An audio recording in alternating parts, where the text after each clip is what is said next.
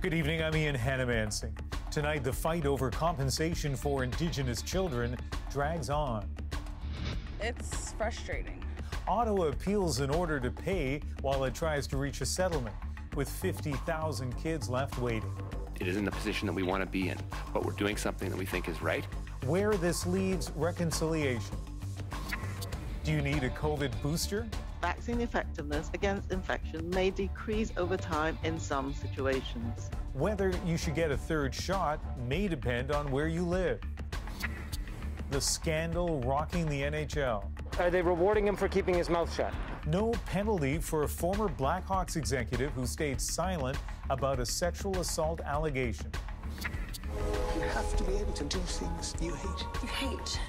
A controversial new take on Diana. This is definitely not a, a, movie that, that she would have signed off or agreed with. Is the portrayal cruel or make her more relatable? This is The National. For years, the federal government has been fighting against a ruling that ordered compensation for Indigenous children who were placed in the child welfare system. Today, it had the option of continuing that fight or work out a settlement, and it chose to pursue both. Its latest appeal was filed, then paused as everyone heads to the negotiating table. In the meantime, as Olivia Stefanovich explains, frustration continues to build among those caught in the middle. Tessa Quachigan's first memory is being pulled away from her mom at the age of two. I can still feel that car seat coming down sometimes and the felt that was on it, you know. Years later, her own son was also taken into child welfare, then eventually returned after Quachigan battled Child and Family Services. It's frustrating. It's really frustrating. And why, she says, the ongoing legal fight around compensating Indigenous children is personal. When they start to recognize what these effects have and like the empowerment they could give so much youth, once they understand that, they can really make this nation a different place. The federal government is temporarily pausing litigation to negotiate compensation. We're going to work like hell during the next 60 days. If no deal is reached, it's back to court. This has the potential to be to be messy, but messy is good. That would resume an appeal. Ottawa filed against a federal court ruling upholding a landmark Canadian Human Rights Tribunal order. It isn't the position that we want to be in, um, and certainly it doesn't help with reconciliation. But we're doing something that we think is right. The tribunal found the government discriminated against First Nations children by underfunding the on reserve child welfare system, ordering the government to pay $40,000 to each child who went through the system from at least 2006, along with their parent or grandparent. This is a really sad day, and it's going to have significant impact on the ability of Indigenous people to work with this government. Ottawa doesn't like the tribunal's one size fits all compensation plan and wants to set up one system to also cover people not included in this case. I want to see if it's a real serious offer to end the discrimination. Cindy Blackstock will be negotiating at the table. She filed the original human rights complaint 14 years ago. Um, if not, we'll go to the courtrooms again, because that's where we've been successful. So, Olivia, when will negotiations start? Well, Ian, talks begin Monday and are expected to continue until sometime in December. The stakes are high. Tens of thousands of people could be eligible for compensation, leaving the government on the hook for billions of dollars. Crown Indigenous Relations Minister Mark Miller says some people could end up receiving more than the $40,000 set out by the tribunal. And if negotiations fail, Blackstock says she's prepared to head all the way to the Supreme Court of Canada. Thanks, Olivia. An Indigenous man recovering from COVID is speaking out tonight. He is one of about two dozen patients in Saskatchewan who have been transferred out of province as ICUs became overwhelmed. As Bonnie Allen tells us, he's getting the care he needs, but he says it's coming at a painful cost. The way they treated me, this Saskatoon, they just came there and said, You're leaving to Ottawa. 66 year old Ken Roth, a retired fire chief from northern Saskatchewan, is one of at least 22 intensive care patients who have been moved out of province to Ontario. I said, No, you can't do that. My family's here. I can't just go. The Métis man says his wife and daughter had been visiting him at the Saskatoon hospital every day, but he was moved so quickly he didn't even have time for a phone call to say goodbye. A traumatic reminder, he says, of how he was ripped away from his mother when he was six and sent to residential school. I'm sorry. And just like when I was a kid, they did the same thing. It just hurt me so much. Another six ICU patients will be moved to Ontario by Sunday for a total of 28. The head of the Saskatchewan Health Authority says there's a process to inform patients who are conscious and their families. Certainly, would apologize for the you know any pain or and or suffering uh, for that patient that would not coincide with uh, our current uh, process of uh, having people sent out of province. The province isn't sure whether it will move more patients next week. We are seeing a reduction in our, our COVID patients. Uh, we are seeing a reduction in, a, in the use of ICU beds. But if it does, Roth says to be more sensitive, especially to residential school survivors. Let them at least talk to their family. It really brought trauma back to me. Roth is pleased with the care he's receiving at Ottawa Hospital. His family is driving to Ontario, but most are not fully vaccinated and won't be able to visit him in hospital, a policy Saskatchewan will soon adopt as well. Bonnie Allen, CBC News, Meadow Lake, Saskatchewan. For survivors and their families, the National Residential School Crisis Line is available if you need help. You can call 24 hours a day. Ottawa has announced new guidelines for who should get COVID vaccine booster shots. Currently, the age requirement varies widely across the country. Christine Birak looks at what may change with these new recommendations. It's official. NACI, Canada's Advisory Committee on Vaccines, now says people over 80 should get a booster shot, and others may be offered one too if they've been fully vaccinated for over six months including those in their 70s, anyone fully vaccinated with AstraZeneca, adults from Indigenous communities, and some frontline healthcare workers. Really, this third dose is to strengthen the protection. But they're just recommendations. Provinces ultimately decide who can get a booster and when. In Alberta, the Northwest Territories, BC, and New Brunswick, shots are already approved for some of those groups and beyond. Ontario says it'll expand eligibility next week, but it won't likely go as far. I think they're going to align with NACI uh, for for the time being. You know, there's no need to do the general population yet.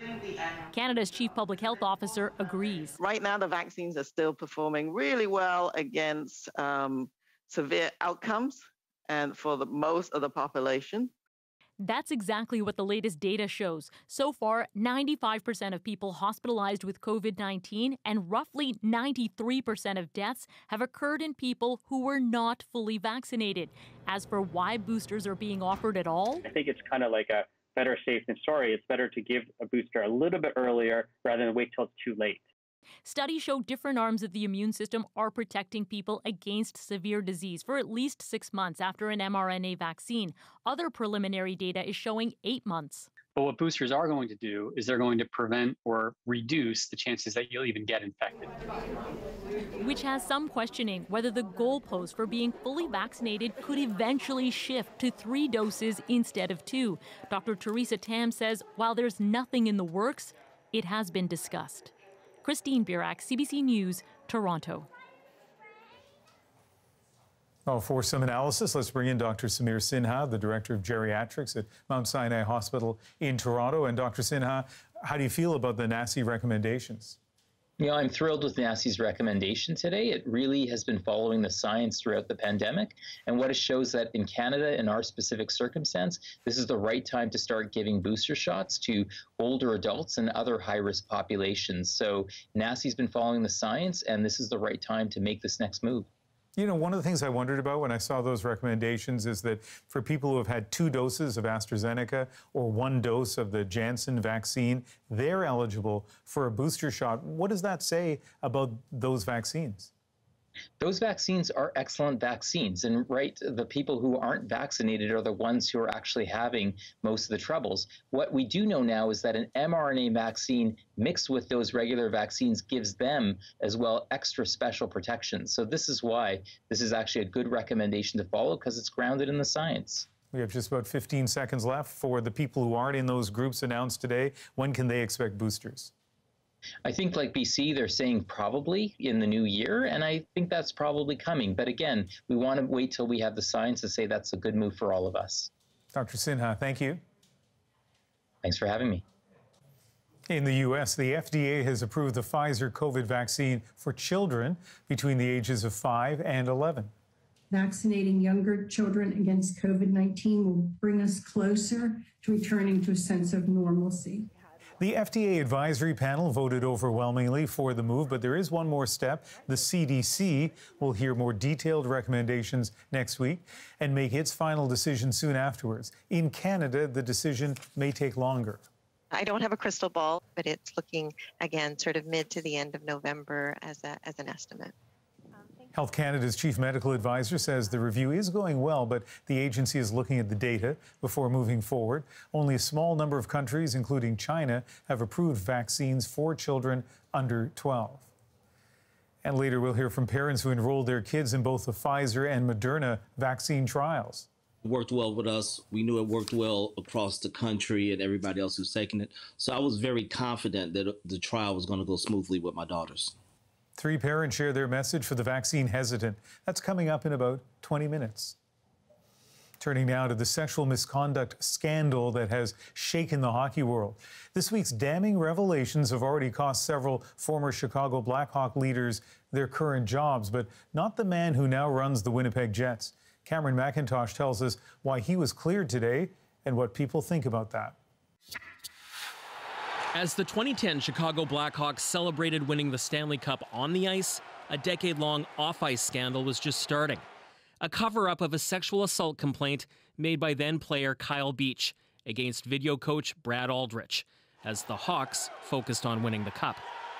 Then assistant general manager Kevin Cheveldayoff, now Winnipeg Jets GM, was one of a handful of team managers who knew of the complaint, but now is the only one absolved, surprising many hockey fans looking for accountability. Wow, that's surprising. Huh. Well, I think there may be some backlash. You can make two cases for it, right? We don't know. And yes, they're keeping the boys' club going, or that's the proper analysis. After meeting in New York, NHL Commissioner Gary Bettman said Cheveldayoff was not in senior leadership and couldn't be assigned responsibility for the team's actions or inactions. In a statement, Cheveldayoff praised Beach. We can all use his courage as an inspiration to make hockey a safer space for anyone that wants to play the game. Beach says he's speaking out for change. The truth has come out that the people in the appropriate positions will take action. So far, action amid growing anger has been resignations of the Blackhawks general manager and former coach. There's a move to take Aldrich's name off the Stanley Cup. But real accountability goes much further, says this expert in athlete abuse. It's, it's too too late in the process. We should be asking the questions, you know, how do we ensure that these things never happen again? Victims advocate Sheldon Kennedy says for Cheveldayoff and other NHL leaders, that means taking the fear of reprisal out of speaking out. And I think if they can show that and be genuine about it, then you know there might be room in the league for them. The NHL has a league-wide system for reporting abuse. The test, say advocates, is making people feel safe enough to use it. Cameron McIntosh, CBC News, Winnipeg. Canada's Supreme Court considered a question today that is often left to personal taste. How far is too far when it comes to comedy? It ruled in favor of a comedian's right to free speech in jokes making fun of a disabled teen. Jaela Bernstien explains.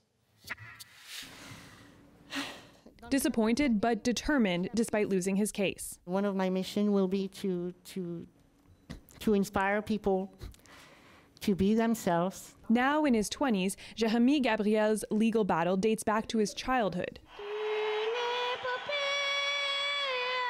His dream was to perform, and though he was born deaf with Treacher Collins syndrome, a surgery made it possible for Gabriel to hear and sing.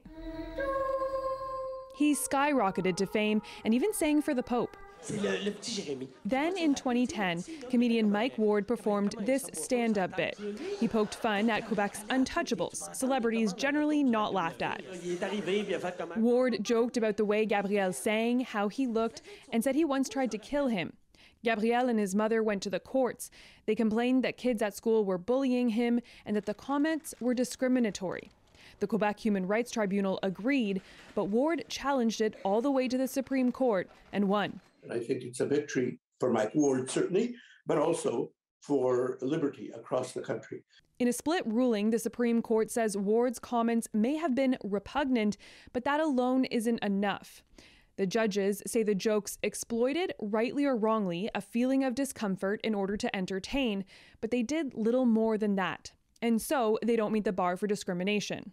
I do not think Mike Ward went too far in that joke. This comedian is a friend and longtime colleague of Mike Ward. I will acknowledge that it's unfortunate that a child was injured uh, by it.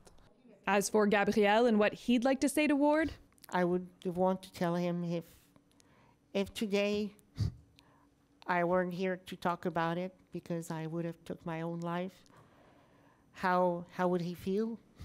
How would how would would, would he react? Would he talk about freedom of speech? Ward says he's relieved but not happy. Je suis soulagé. He says he wishes Gabriel success and the best in life. Jaela Bernstien, CBC News, Montreal.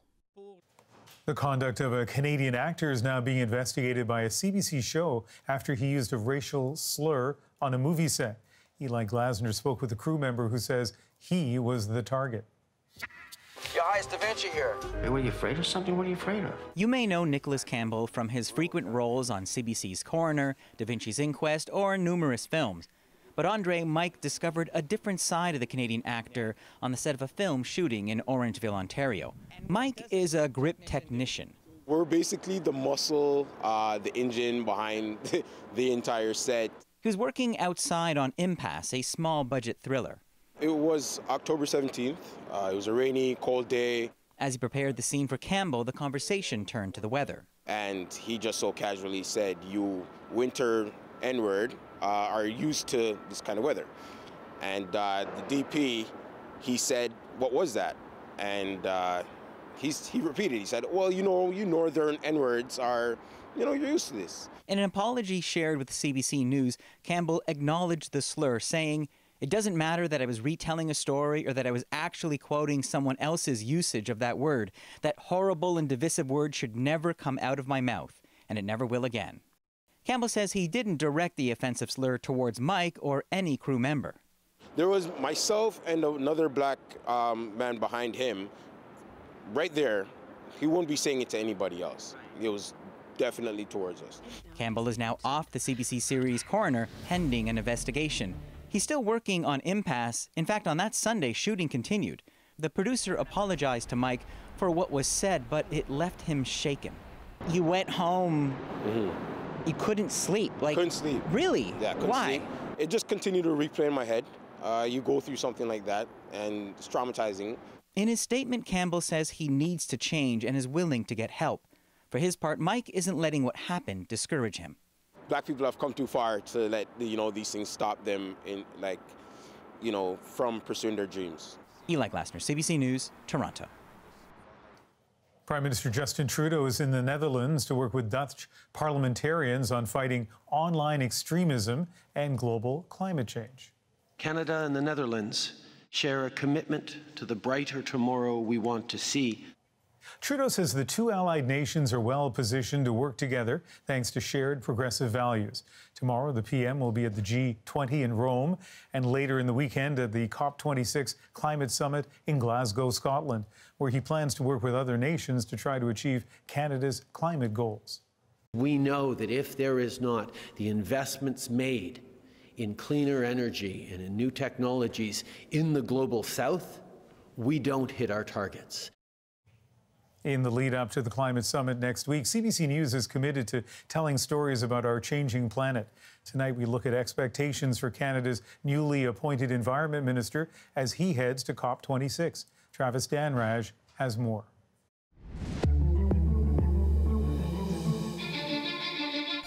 adults and world leaders aren't taking this crisis seriously, and young people have definitely had to really step up and take the action that's needed. Alia Hirji is traveling to Glasgow with an Indigenous-led BIPOC youth group to make sure her generation is heard. At 16, she's already fed up with world leaders making climate promises they fail to deliver on. In past conferences, uh, Canada has been really critical on other nations, which I don't think it has a right to, given how much our emissions have risen. In 2015, Prime Minister Trudeau pledged Canada would reduce its emissions by 30%.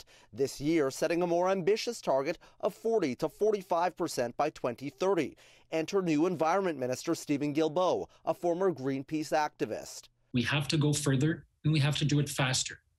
But the fundamentals that we've put in place at home carbon pricing that is rebated to Canadians, phasing out coal fired electricity generation, and a clean fuel standard. Those three measures alone, if adopted by the world, would go a long way to meeting the Paris targets. Elizabeth May has attended a dozen COP summits. She's going to Glasgow as part of Canada's delegation, looking for rich nations to take serious action, not just make promises to cut emissions. Why should anyone believe the wealthy, polluting countries of this planet anymore when we fail to deliver on any commitment we make. Hirji agrees, adding Canada and other G20 nations need to follow through on a promise to raise $100 billion a year to help poorer countries tackle climate change. This is a crisis that's going to affect the entire world, and so the entire world really needs to work together to act against it for present generations and future generations. It is, she says, the only way forward for youth around the world. The stakes couldn't be higher.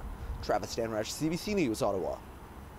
Queen Elizabeth won't be among those attending the summit, canceling her appearance following a night in hospital last week. And now there's word her unscheduled break may be longer than originally expected. Buckingham Palace says doctors have advised at least two more weeks of rest for the 95 year old.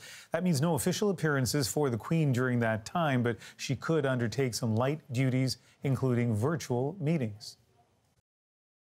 With the U.S. land border about to reopen, a lot of Canadians are planning to head south.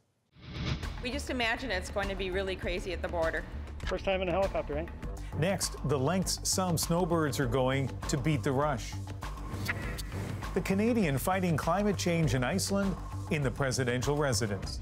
We're not going to deal with the climate crisis unless we make conscious decisions to deal with the climate crisis. Mummy, what happened to make you so sad? And a new portrayal of the People's Princess. This is definitely not a, a movie that, that she would have signed off or agreed with. Kristen Stewart on her interpretation of Diana. We're back in two.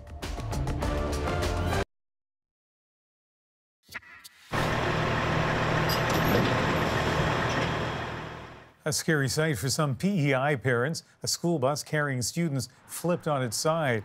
Officials say three children were sent to hospital. All are said to be in stable condition. However, one was airlifted to hospital in Halifax. No word yet on the cause of the accident.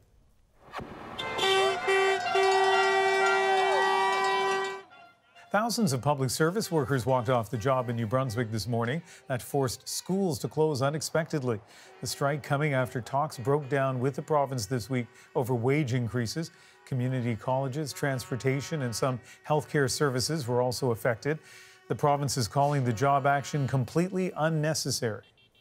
I fully support collective bargaining, but unions have a choice in the way that they manage these processes. And they made a choice this morning, and I don't think it's a choice that's defensible for our school system or for our province. Students have been told they'll be learning from home starting Monday and should expect to do so until the strike has ended. The federal government announced today the window for traveling while unvaccinated in Canada is about to close. Let me be very clear. If you are not fully vaccinated against COVID 19 by the end of November, you will not be allowed to board a plane or train in Canada. That covers both foreign and domestic travel. The policy officially kicks in tomorrow, but there is a month long grace period where a negative test is sufficient. The longer grace period for fly in communities and foreign nationals is in place, as well as exemptions for emergencies. Of course, in many ways, travel still hasn't recovered after 19 months of pandemic disruption.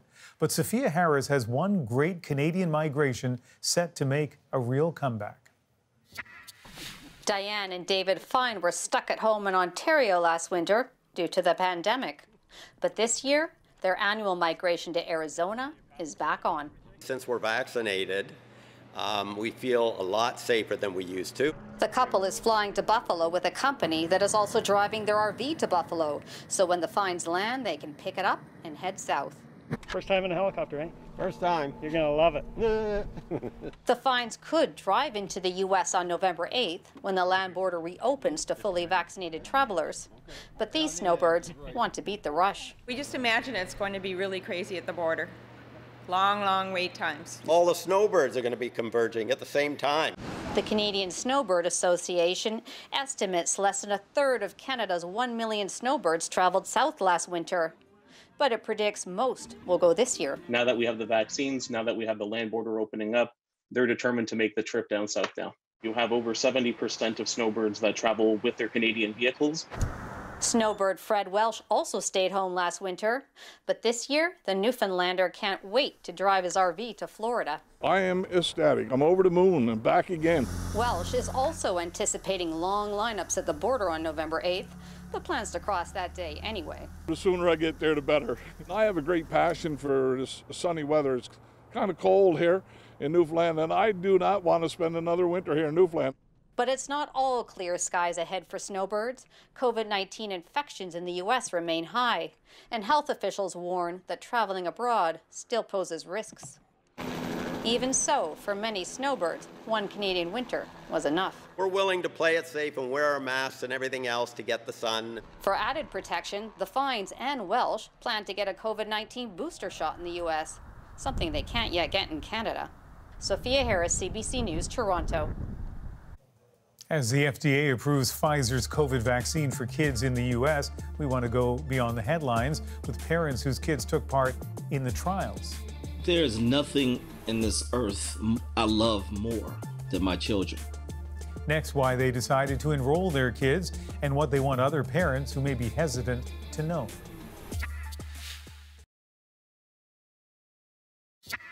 Talked about the reviews um, and that they are guided by science and evidence, and we need to really be sure that we're taking the time to go through all of that. As we mentioned earlier in the program, Health Canada's chief medical advisor says the approval of the Pfizer vaccine for kids aged 5 to 11 is still a few weeks away. But in the U.S., we could see shots in arms a lot sooner. But some kids have already received a COVID vaccine through a clinical trial, though not here in Canada. Uh, tonight, we wanted to go beyond the headlines with parents in the United States who know this experience firsthand. Emily Solari's three children took part in the Pfizer trial. Brett Hughes' two daughters were in the Moderna trial, and Rebecca Davis' son also in the Moderna trial. Welcome to all three of you. Thank you Thank for you. having me. Thank you for having us.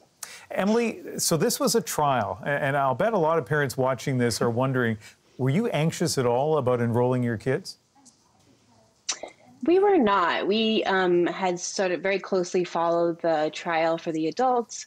Um, we knew that there was dem- demonstrated safety and efficacy in the adult with the adult population, and um, we also had some details about the trial that the dosage would be less than what adults received.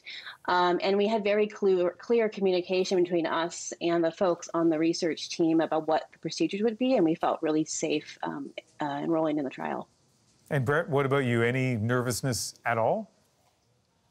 Very, very little nervousness. I really trusted the science at the time. My wife had the Pfizer vaccine. I had the vaccine. I had the Moderna vaccine as well. It worked well with us. We knew it worked well across the country and everybody else who's taking it. So I was very confident that the trial was going to go smoothly with my daughters. So you and your wife, Brett, were very confident, but I understand you have some family members who are not vaccinated. What was their view of you enrolling your kids in this trial? It was some shock. it was some shock. But you know, it was one concern that I have with trials in general, with uh, with drugs in the U.S. is that my demographic is not really represented a lot, And this was a chance. I would have loved to participate in the trial, the adult trial myself, but since I did not have that opportunity, I thought it was great that my daughters had the opportunity and they were really fired up about it because they wanted to help in this pandemic as well. So we were very confident going in and hopefully, I don't know if it changed the minds of people in my family, but hopefully it changed the minds out there. All right, cute video alert. Rebecca, you sent us uh, some video of your son, Will, telling us about why he wanted to be part of the trial, and uh, we're going to play a portion of that right now. I want to make sure other kids can get vaccinated, and also, like, I haven't been able to see my friends in a while, and now, like, I finally can because I got into the trial. So, Rebecca, really impressive kid you have there. T tell us about the conversation you had with him about the trial. Well, um, he has a lot of health anxiety, and I think he was eager to get protection from COVID 19 once his father and I were able to get our shots, and he was kind of felt left out. So um, I suggested that he might want to do the trial, and I signed him up, and um, he got in a few months later, and um, it's been a good experience for us. And, and, Rebecca, give us a sense, because uh, you know all of us who are watching have, or most of us anyway, have not gone through something like this. How closely are are, are your kids monitored uh, through this? Um, they're very closely monitored. Uh, for the duration of the trial, we're supposed to tell them like about every tummy ache and every you know broken arm or anything that comes up that might not have anything to do with the trial. They want to know it, and um, they uh, had us do like e diaries for you know uh, about a week after both shots. And like, you know, they wanted to know his temperature and they wanted to know, does he have this symptom, that symptom? Um, I felt like it was pretty thorough and it, it, was thorough, but not invasive or anything. It wasn't like we'd have to go in a bunch of times. Um, they just had us do the e-diary. It's pretty easy. And, and, Brett, for, for adults, uh, you know, lots of different stories about uh, symptoms. Some people have no symptoms after the shot. Other people sore arms. Other people feel like they have the flu for you know a day or so. What about for your kids? What what kind of reaction did they have to the shots? My oldest, Sophia, had no side effects whatsoever. My youngest, Sydney, she had some headaches, but she's kind of prone to headaches as well. So we monitor that, and they proved to be transient. Emily, the big question for people who are watching and those who might be hesitant about uh, giving their kids vaccines once that rolls out across the country, uh, what would you say to them? You know, I would say just following up a little bit on how closely the kids were monitored, you should feel very safe that this was studied closely. My kids actually received their first shot in June, and um, you know, and they got the Pfizer vaccine, so they will be unblinded next week. So we'll be able to find out which one of them got the vaccine. But they had been monitored this entire time. There have been follow up appointments. Um, and I've been really impressed with the level of data collection to ensure the safety for, um, for the vaccine. And Rebecca, similar question to you. I mean, this is this is a big question, right? And and so again, what would you say to, to parents watching uh, about getting their kids vaccinated? I feel like it's totally normal and reasonable to have questions or hesitancies or be unsure. And I would just encourage those parents to take those questions up with their doctors and the pediatricians and the medical professionals that they've chosen. Um, because I feel like, you know, that's who you should be getting the medical information from, you know, not from your family or your friends. Like you should go to the experts. And that's what I would, I would just implore everybody thinking they're not sure to go and ask the experts. And Brett, we have about 30 seconds left. You mentioned that your the, your community, uh, the African American community, has had, you know, uh, lower perhaps uh, rates of vaccination than some other communities, and there are trust issues here in Canada among some people when it comes to vaccines and, and the medical profession. So, last word to you. What's your message to those who who just might not trust the system when it comes to vaccinating kids? There is nothing in this earth I love more than my children. So if I'm comfortable to have my children take this vaccine, they should be comfortable as adults and their children to get the vaccine as well. It works. It works. Trust the science. It works. Well, all three of you are so impressive, and uh, thank you very much for speaking with us here in Canada tonight. Of course. Thank, thank you, very much for having us. Next, a conversation with Iceland's First Lady, who also happens to be Canadian. I think I was a little bit nervous that there was no job description at the beginning or no, no handbook on how to be a, a first lady. How she's helping to champion solutions to climate change. That's right after the break.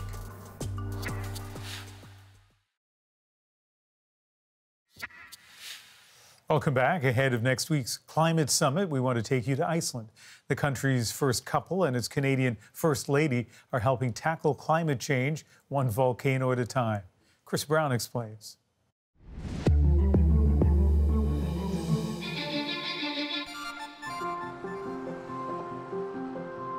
Iceland is defined by its Arctic identity and its fabulous natural wonders. And people who, for a thousand years, have embraced their rugged existence with ambition and a sense of fairness. Now, Icelanders are hoping those values can help lead the world through the challenges posed by a warming climate. The first people who arrived here, they decided this is a good place in which to live. Sea is close and the sea is full of fish. On a picturesque peninsula near the capital Reykjavik, we visited the official residence of Iceland's president, Gudni Johannesson, and the First Lady, Eliza Reid, who's a Canadian. There's a seal that sometimes sits over on the rock. Reid is originally from Ottawa. She met Johannesson when they were students at Oxford University. A historian, in 2016 he was elected Iceland's head of state. The job is nonpartisan and mostly ceremonial, somewhat like Canada's Governor General. And it thrust Reid into an unexpectedly prominent role in her adopted country. I think I was a little bit nervous that there was no job description at the beginning or no, no handbook on how to be a, a first lady. And then I've just decided I would just do that myself. She learned Icelandic and speaks it fluently, and that's helped her champion prominent causes such as gender equality and Iceland's role in heading off global warming, which was the focus of our conversation. I want to know what you see in terms of a changing environment and, and, yeah. and what your level of concern is. Right. I, I, absolutely, you know, anecdotally see a changing environment. You, you, know, milder winters with less snow in the capital area, a, a, glacier tongue that came right to the ring road, our main highway here, when I first visited Iceland 20 years ago, that you know have to drive five kilometers in to go and see. But there's also wonderfully optimistic examples of work that we're doing to try to improve this. And Iceland is a global leader in terms of renewable energy sources.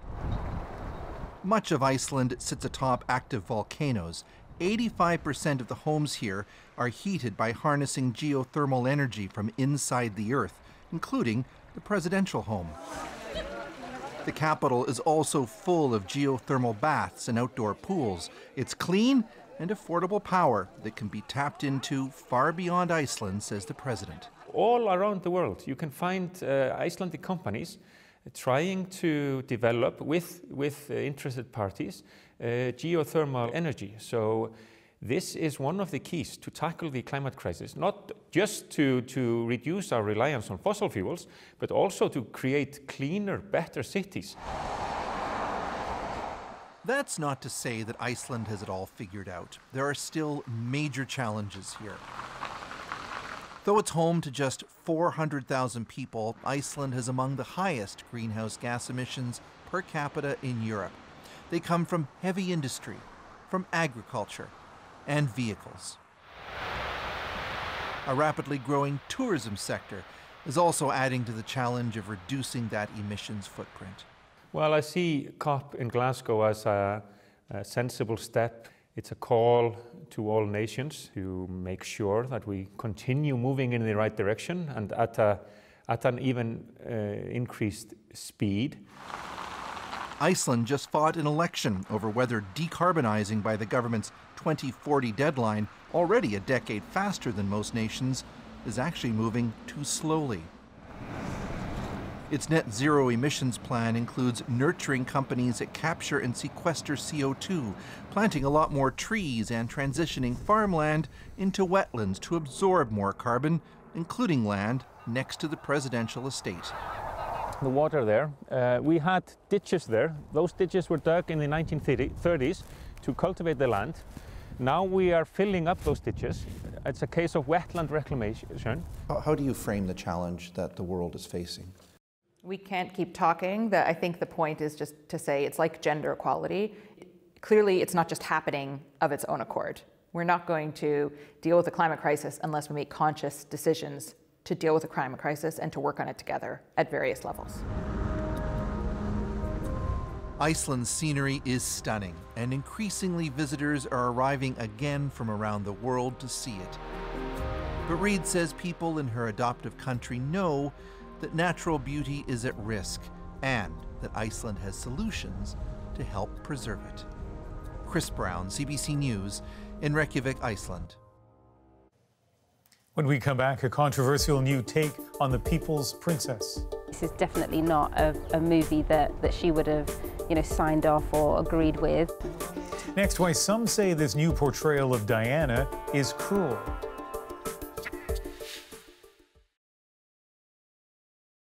I'm Jamie Poisson. Join me for CBC's daily news podcast, Front Burner. Every weekday, Front Burner takes you deep into the story shaping Canada and the world.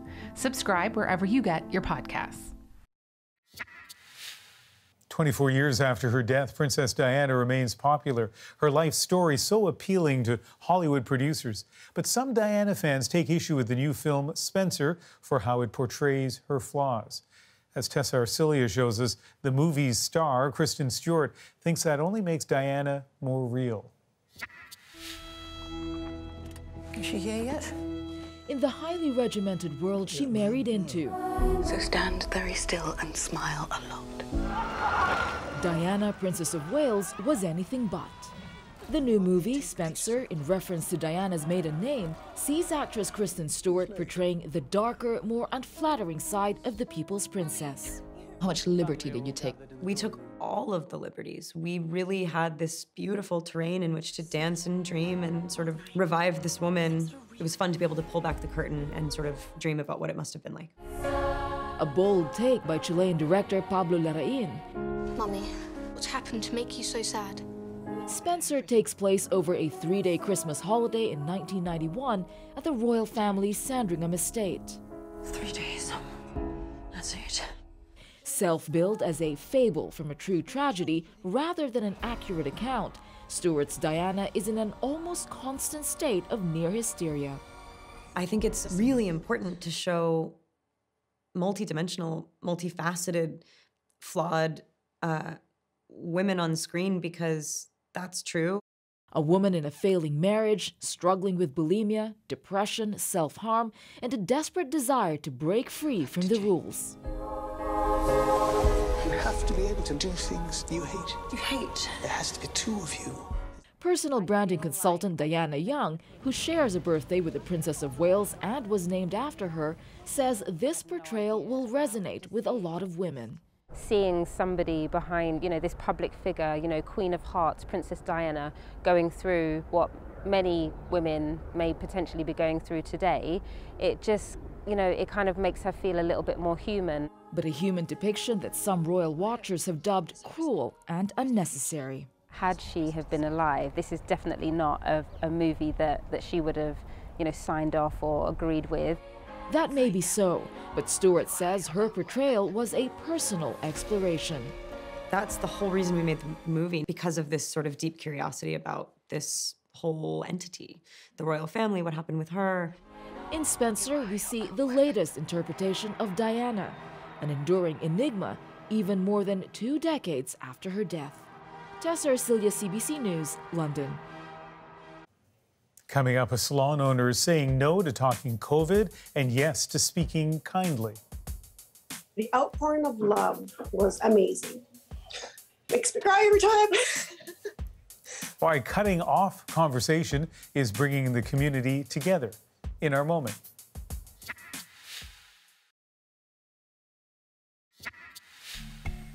You may be used to signs saying no shoes, no shirt, no service, but how about no COVID talk? At a salon in Saskatchewan, that is the number one rule. And the response has been overwhelming. The inspiration and the impact on the community in Weyburn is our moment. A space free of the following topics there's no COVID, there's no vaccination discussion, and there's no political discussion.